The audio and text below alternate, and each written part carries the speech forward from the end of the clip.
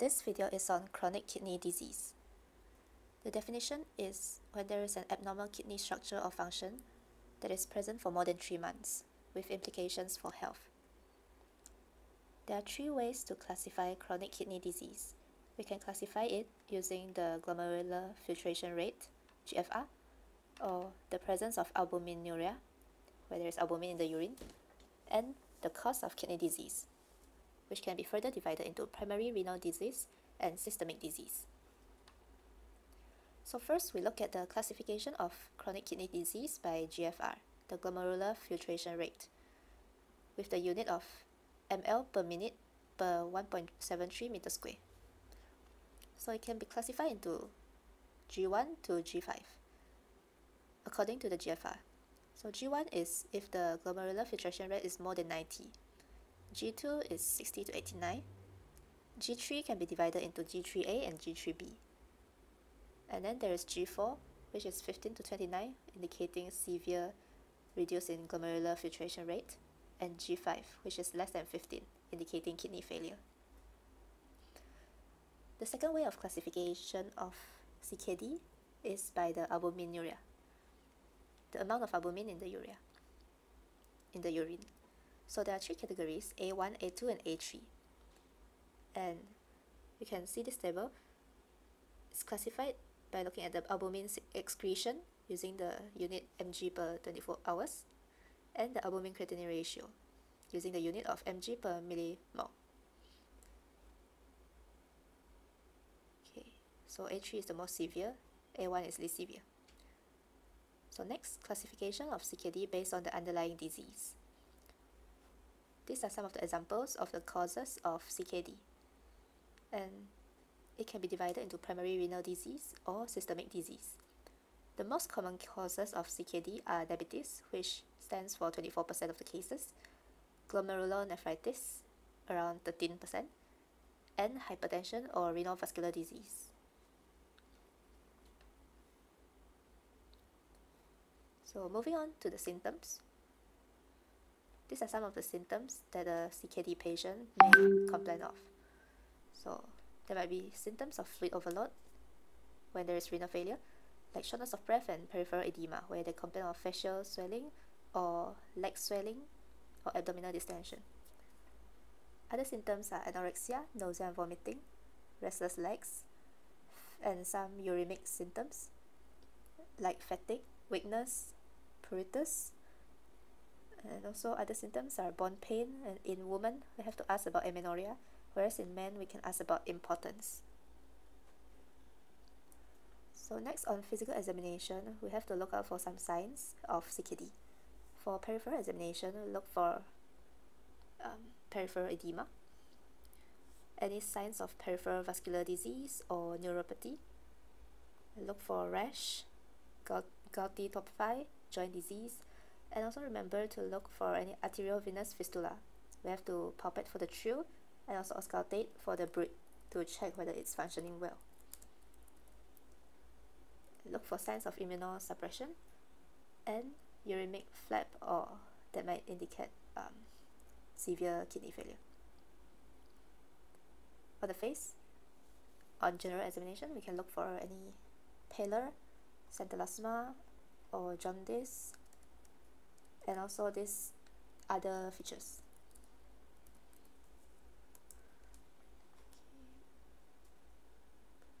And other investi uh, other examination we have to look at the neck. Look for any raised JVP due to fluid overload. Let's look for tunneled line. If removed we can look for a small scar over the internal jugular and a larger scar in the breast pocket area. Look for scar from parathyroidectomy and lymphadenopathy. For cardiovascular, uh, check the blood pressure, uh, look for any previous scar, look for signs of cardiomegaly like displaced apex beat.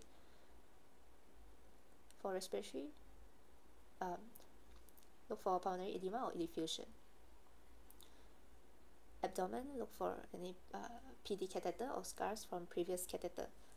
There are just small scars just below the umbilicus and to the side of the midline. And also look for signs of previous transplant and on abdominal examination we have to ballot the kidneys because um, one of the expected finding is ballotable polycystic kidney that could have caused renal failure. Moving on to investigation, it can be divided into blood investigation, urine investigation, imaging, and histology. So first for blood investigation, can do full blood count to check for expect to see normochromic normocytic anemia, bills and creatinine to assess the renal function, glucose level to indicate diabetes mellitus, see the severity. And calcium is expected to be low, phosphate is high, and the parathyroid hormone is expected to be high. Other blood investigation we can do is to look for these antibodies, which could suggest for the specific cause of the chronic kidney disease.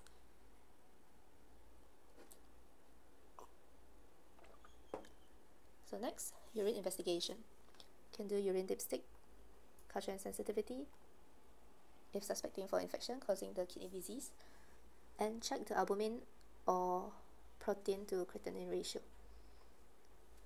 For imaging, we can do renal ultrasound to assess the size, symmetry, and anatomy of both the kidneys, the cortical medullary differentiation, and also exclude any obstruction causing the uh, kidney disease.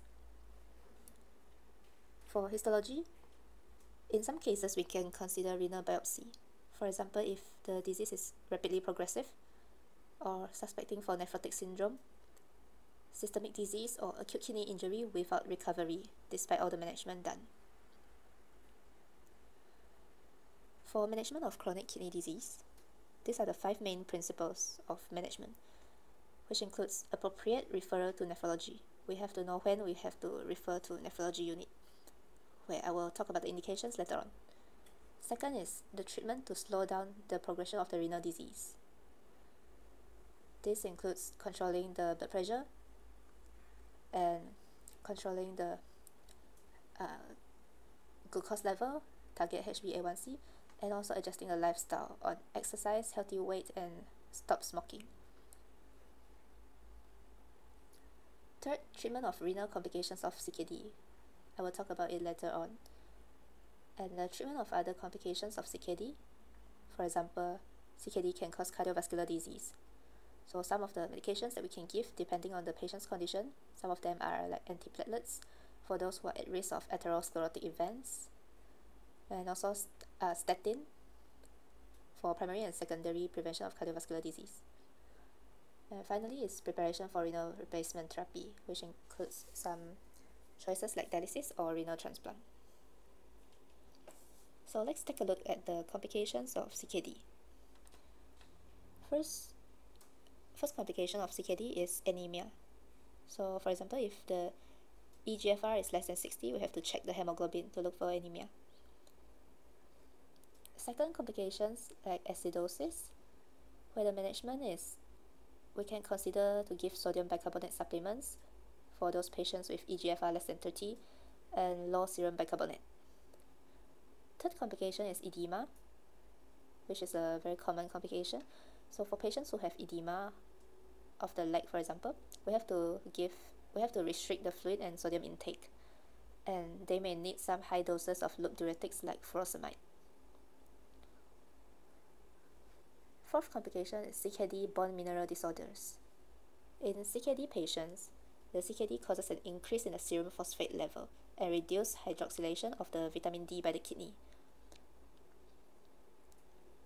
So in these cases, we have to measure the calcium level, the phosphate level, the parathyroid hormone levels as well. Okay, some of the medications we can give are like phosphate binders or give vitamin D supplements. Lastly, restless legs and or cramps. This is also one of the complications of CKD. So when do we have to refer the patient to go to the nephrology unit? These are some of the indications. First is if it is a stage G4 and G5 CKD. Second, if there is proteinuria, where the albumin creatinine ratio is more than 70, unless it is due to diabetes and already treated, then we have to refer. Third is proteinuria with hematuria. Fourth is declining EGFR. Fifth, poorly controlled hypertension despite already giving at least four antihypertensive drugs. And the last indication is if it is a known or suspected rare or genetic cause of a CKD, we have to refer to the nephrologist for further management. This is all for this video. Thank you.